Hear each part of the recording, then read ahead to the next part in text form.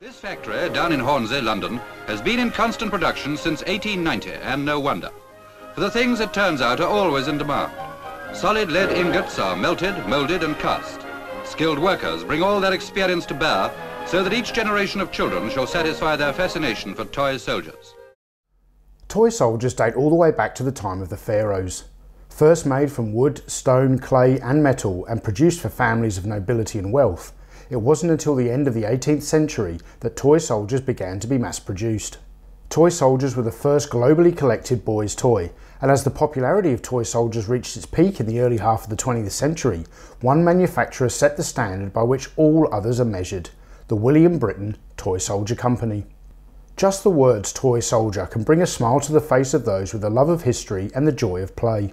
Whether the affection is for plastic, metal or resin toy soldiers, the passion for these little figures is universal. Today, toy soldiers have outgrown their intended purpose of being simply a boy's toy and are now collected by adult enthusiasts all over the world, and there are none more sought after than toy soldiers from the W. Britain Company.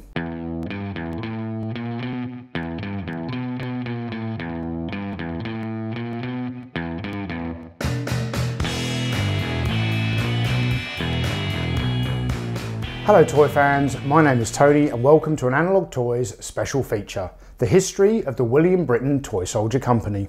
The founder of the W. Britain Company was William Britain Sr. and his original trade was that of a brass clockmaker. However, the business which made the W. Britain Company a household name during the 20th century was that of a toy soldier manufacturer. Prior to 1893, German manufacturers had dominated the toy soldier market until, as if from nowhere, the W. Britain Company launched its first hollow cast toy soldiers. Hollow casting was a revolutionary process where molten lead was poured into a figure mould, and before the entire figure could set, some of the molten metal was poured back out again. This process meant that the lead would form a skin on the inside of the mould, but by pouring the molten lead back out again, it would leave the figure hollow in the centre. With each toy soldier containing less metal, which was the most expensive component in the figure, W. Britain were able to achieve a lower retail price and thus compete with the more expensive German-made figures from the period. From 1893 onwards, W. Britain continued to grow and evolve as the hollow cast toy soldier gained in popularity. Standing 54mm tall, which is still the industry standard today, these toy soldiers were miniature hand-painted representations of military personnel from all the armies of the world. By 1931, the company employed 450 people at its London factory, and the catalogue had expanded to 435 different sets, with 20 million models being produced each year. But children aren't the only customers. Many adults find collecting them an absorbing hobby, combining history and pageantry in miniature. But just the same, the majority are destined for many a hectic battle on hearthrugs the world over.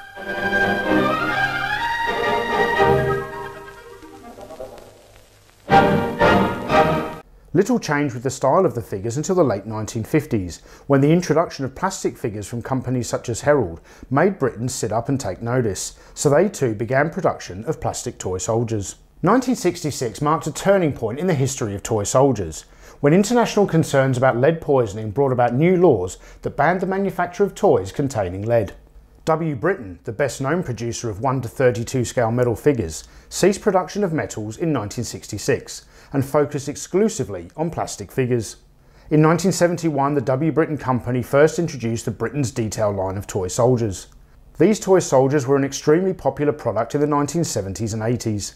Manufactured in England, these plastic figures were finished with hand-painted details and came with sturdy metal bases made from a material called Zamac. The new Britain's detailed figures were produced in PVC and used plug-in type arms which were glued to bodies resulting in poses previously unavailable. Figures were moulded with a T-shaped footlug on the feet of each figure that allowed secure attachment to the sturdy metal bases. These rectangular metal bases ensured figures stood better than the products produced by rival manufacturers and paid homage to Britain's hollow cast metal figures as well as being thought of by consumers to be of better value due to their heavier weight. The Britain's Detail range are my personal favourites, partly because I grew up with them, but also because these toys were still manufactured for children and not aimed at the adult enthusiast. It isn't child's play making toy soldiers, and it isn't children who purchase and play with these tin soldiers once they're made. It's grown men.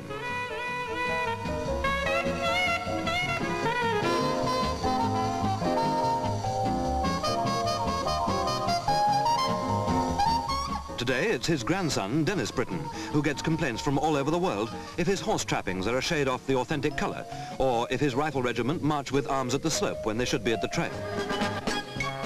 But metal or plastic, with their 24-carat gold-plated band instruments, what a spectacle they make. The Britain's Toy Company was not only known for its toy soldiers, but also for its die-cast range of miniature vehicles, which first began production just after the Second World War, with their Massey Ferguson Combine Harvester even being voted UK Toy of the Year in 1978. The W. Britain Company continued to prosper throughout the 1970s and into the 80s, when, in 1983, Britain's launched its first all-metal figure in nearly 20 years. Although the company had introduced a die-cast metal Scots Guard set in 1973, these soldiers still featured plastic weapons, so they couldn't be called true metal models. The new 1983 sets were harking back to William Britain's past, and it appears they may have been designed to capitalise on the growing collectible nostalgia market in the early 80s, as well as the flourishing tourist trade in London. The first few sets featured typical ceremonial subjects such as lifeguards, the Black Watch and yeomen, and proved popular enough that by 1984 the Britain's metal models range had begun to grow.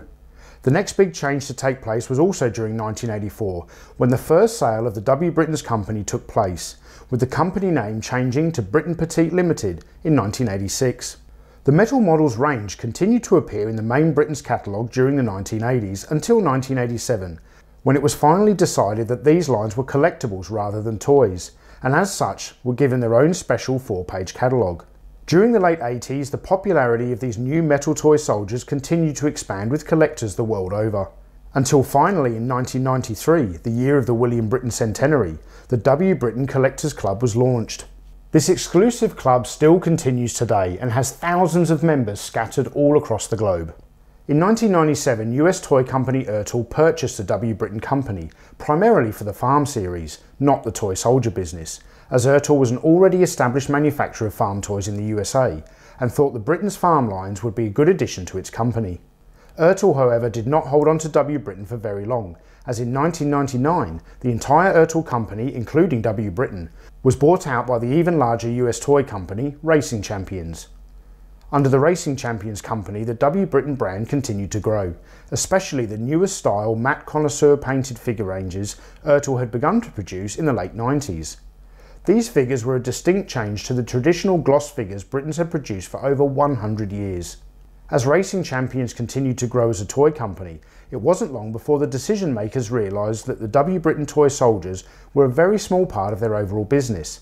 So in September 2005, the small US collectible company First Gear acquired the W. Britain toy soldier brand.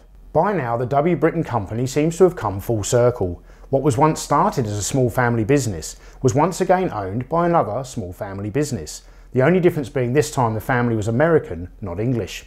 The W. Britain toy soldier range thrived under the guidance of First Gear until 2016, when the 123 year old brand was sold to the Good Soldier LLC, located in Ohio, USA. This new company is owned and operated by toy and model figure collectors who are dedicated to continuing William Britain's commitment to quality and authenticity. In the modern world, collecting toy soldiers remains one of the most passionately followed hobbies, and with their high quality, diverse range, beautiful sculpting and wonderful paint applications, it's no surprise that the William Britain brand continues to be the market leader of the toy soldier industry. The W. Britain brand of toy soldiers really does hold a very special place in my heart. It's because it's these products that actually started my lifelong passion for collecting toys. This is because when I was a child, my father and I bonded over trips to our local toy shop.